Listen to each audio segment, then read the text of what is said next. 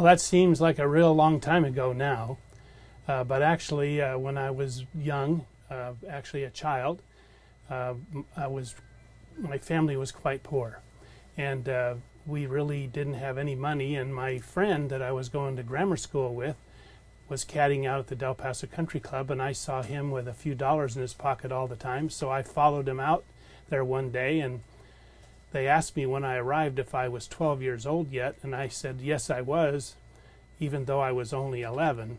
So I started caddying at the Del Paso Country Club when I was 11 years old, and uh, really the rest is history. I've never left golf since. Uh, the good news for me was is that I made a real good friend who was the pro at the country club by the name of Frank Minch Sr., and he uh, took me under his wing and uh, really developed me both as a player and as a person.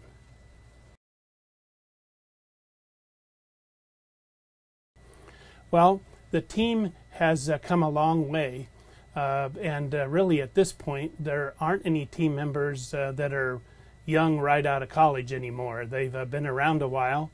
Uh, I have Terry Daubert, who's my president of the Morton Golf, and he has been here 32 years, and he comes with a degree from University of Colorado in management, and is doing an incredible job.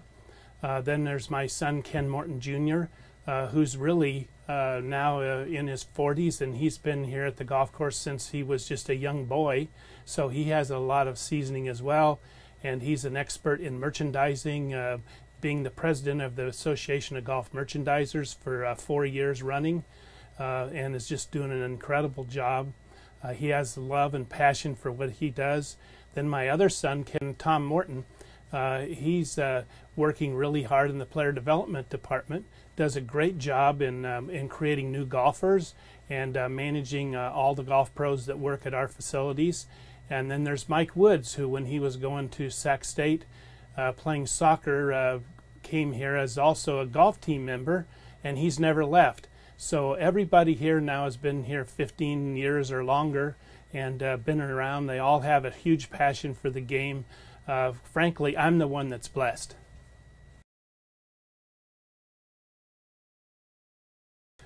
Um, well, it's really kind of hard for me to uh, to talk about that if you want to know the truth.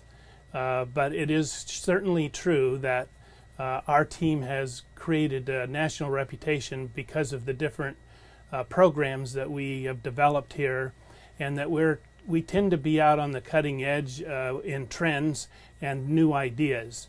Uh, and so the PGA of America and other golf associations tend to look at us as a, as the companies who, who whose model business model they like to uh, copy or put into their education programs. Well, I think heritage is the history so that we really understand uh, where the game came from uh, and that uh, we have always been here to develop uh, golfers and to uh, reach out from to people through all walks of life so uh, we feel like we're uh, on solid ground and, and we know what, what, what generated the game originally.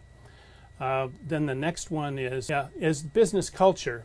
And uh, in the early 1990s, uh, I began to realize that, uh, that those businesses that were doing well had systems and processes and they also had good training programs and they really tried to to be organized behind the scenes.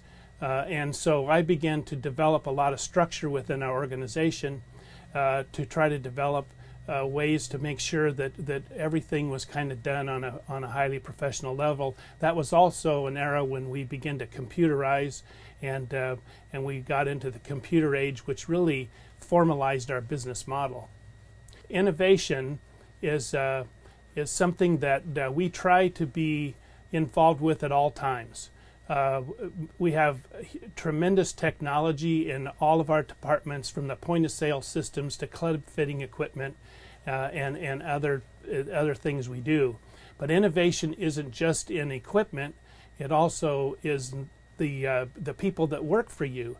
Are they being innovative in knowing what the new trends are? Are they being innovative in how they treat customers? Are they being innovative in in the the new and, and tw modern twists in life?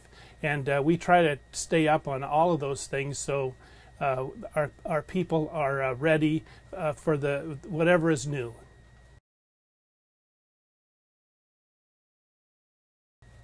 Well, each co each company should decide really what level of services they can afford. Uh, because uh, sometimes you can offer services people don't want and that they really can't afford, and that's a turnoff. Uh, then you have to really determine from your customers what they want. That's the second D. And the D plus one is that you give them what they want plus 1 at every single encounter throughout their day at the golf course.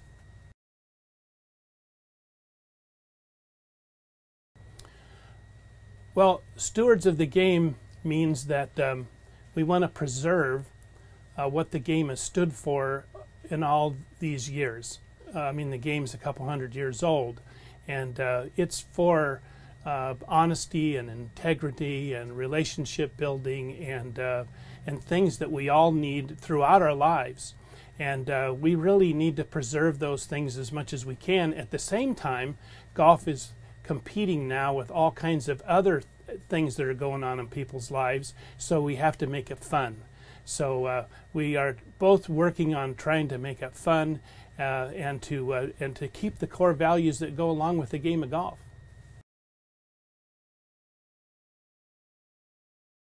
Well, uh, now we're getting in behind the scenes, uh, and you really are asking the question as to how we manage.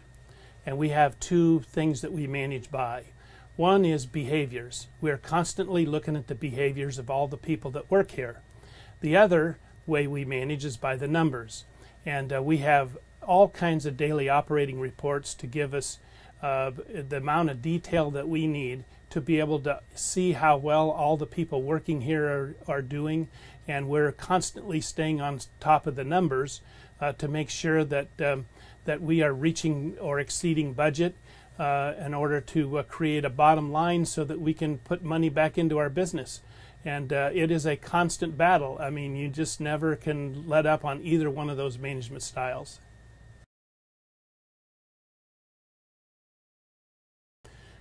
Well, the, the only thing that's constant is change. And uh, the people in golf and in our society are constantly changing and uh, what they want to do, what they like to do, what, what, makes them uh, enjoy their life is constantly changing. So we have to stay on the cutting edge of finding out uh, what it takes to keep people interested in the game. So innovation really is about learning about your clientele, learning about your community, and being out in front of trying to create things so that when the people come out at the golf course, they have more fun than if they would be doing something else in their life. And if you're not creating more fun at the golf course than another facility or another uh, type of sport, well, then you're just going to lose them, lose them to them.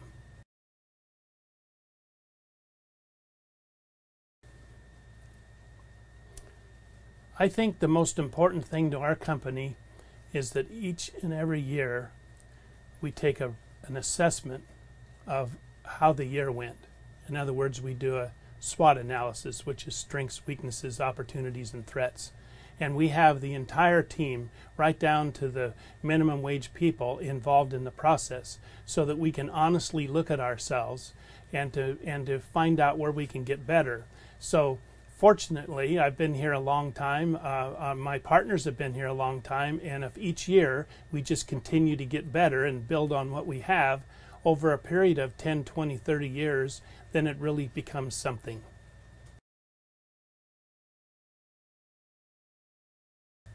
Uh, the game today is is in a place where there's a Y on the road, and um, we're either going to maintain our traditional way of doing things the way we have in the past, and not conform to uh, the way the world is today, or we're going to make some serious changes as a sport and uh, find ways to uh, bring people into the game in different ways than we've ever done it before.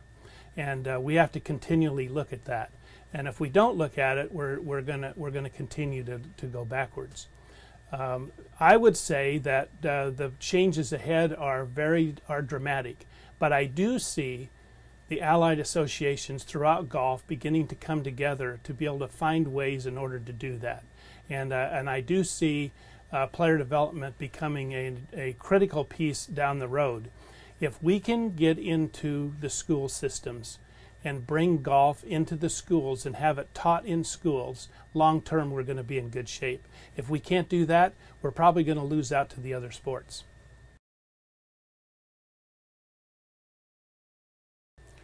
Well, one of our core values uh, in our in our company is to make work fun, uh, and that's a that's a real critical part. Uh, the hard part to know is is what fun means to your customer and uh, and we need to always be listening to our customer to find out what fun is, uh, so that we can do the things that they they need done.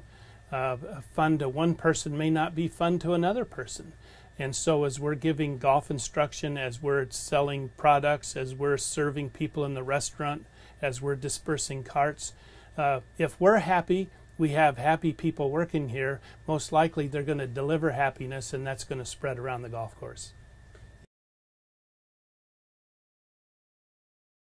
Ken Morton Sr. and his company is Pieces of Pros throughout the country. Uh, for over 30 years, I have been giving head pro training seminars and different and, and other kinds of seminars for the PGA of America and other allied associations and in every room, there are some very talented and gifted people. And if you uh, ask the right questions and you listen well enough, you can bring back a great idea and put it to use at your course. And frankly, I'm not the smartest guy in the world. I just pick up good ideas from a lot of people. And so over for over 30 years, I have been bringing a few great ideas to our golf facilities uh, that, that are being accomplished by other successful golf pros. And so uh, uh, listening is a great aspect. I guess that's why uh, God gave us two ears and one mouth.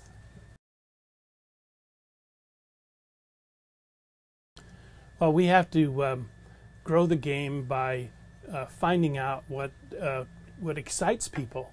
I mean, we're into an era now where uh, young children are spending the majority of their time with new technology, uh, and they're and they're taking up other things for their time and uh, and and even the community doesn't trust uh, their their kids to be out and play in the front yards anymore to get exercise. So we have to start attracting uh, young people into the game in totally different ways than we did before.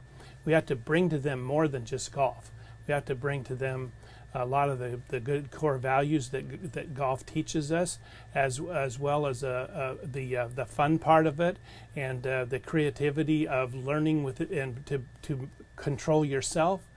And if we do those things and we bring this to the school system, uh, the the game will be uh, better off in the long run.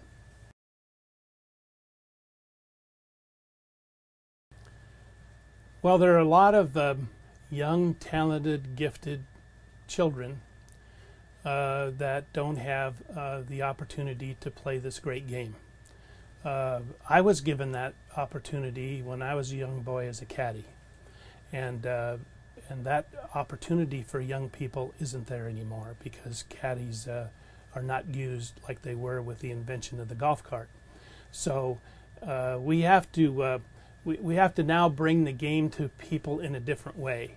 And uh, we have to bring it to the, them in a way where they really uh, see it for being more than just a chasing the ball down the fairway. Uh, we have to uh, we have to make it fun. We have to make it exciting. We have to make it uh, competitive. And uh, and these young children now, with all this pent up energy, uh, we have to actually treat them a lot different than we did 20, 30 years ago. We have to keep them busy, keep them thinking, keep them active, and uh, and if we do those things, then then it will be uh, will be really good. And so the Morton Golf Foundation was created to create dollars to be able to go to the African American Association, the Latino Junior Golf Association, uh, some disabled programs, and several other uh, associations throughout Sacramento so that uh, we could actually bring people into the game in ways that we weren't able to do this a few years ago. Uh, we're really excited about uh, doing that, and we're excited about the potential. We're now having several kids earn college scholarships at the end of their uh, at the end of high school based on their golf game. And uh, in the uh, old way of doing things, those kids wouldn't. Most of those kids wouldn't be getting those scholarships. So we're really excited about uh, what we're able to do to bring people into the game that didn't used to be able to play it.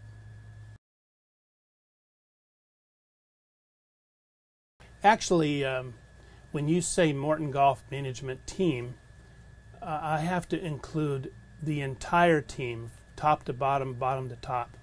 What makes me the most proud is that when I know that customers are being treated consistently and and the in the right way, that from when they drive into the golf course and when they leave, then I'm a very happy guy. Uh, what makes me the most proud is that I feel like I have lived a pretty balanced life and that uh, I've had an unbelievable career far beyond anything I could have ever dreamt up. And then I have the most beautiful, wonderful family that anybody could have dreamt up. So I'm the blessed one.